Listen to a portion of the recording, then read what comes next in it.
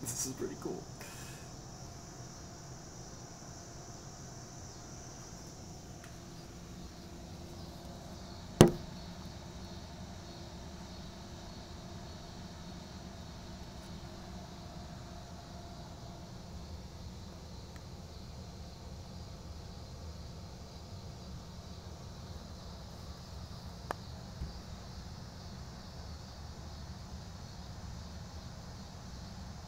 Can't see him, but he's on top of the doghouse under the deck right now.